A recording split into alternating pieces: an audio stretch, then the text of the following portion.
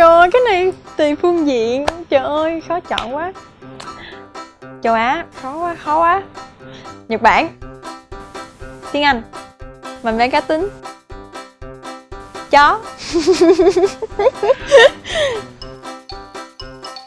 Phở gà. Tại sao? Tại vì em chỉ thích ăn phở gà.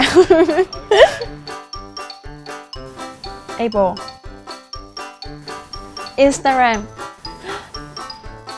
Piano. Tại vì tiên đánh đàn guitar rất là giỏi rất là Không phải ra Rất là giỏi Tại vì tiên thích học piano. Thật sự tiên thích học piano hơn Chứ piano thì nó sẽ nữ tính dịu dàng hơn Nhưng mà ờ, guitar thì dễ học hơn. Hát. Mặt mọc Cả hai luôn được không? Mắt đi.